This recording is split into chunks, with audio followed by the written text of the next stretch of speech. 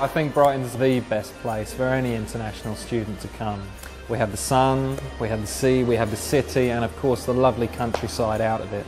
Students always have something to do and they can meet friends from all over the world.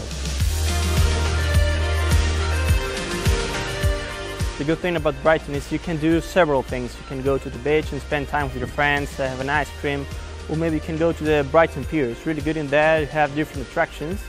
And something that I like most is to go to the bumping cars and have fun with your friends.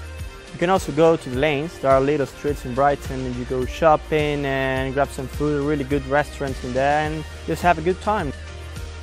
So I have one from mom and dad, from my brother and from my aunt. The interactive whiteboards uh, are amazing because that help us to have fun learning English and also you can play games with the board and it's really interactive and really good way to learn English. You might sleep like look. Look, yeah, maybe yeah. L O G. Yeah, good.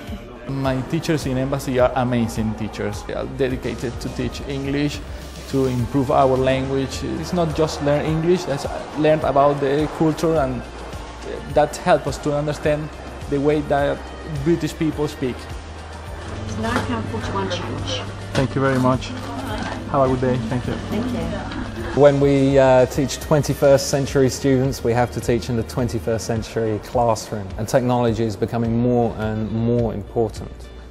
We do see a great change in our students' ability, even in a short period of time. They tend to speak a lot of English outside of the classroom, and they'll bring that language into the classroom for clarification with the teacher, and we can, of course, incorporate that into our lessons. It was a very nice time for me. I, I can never forget this moment.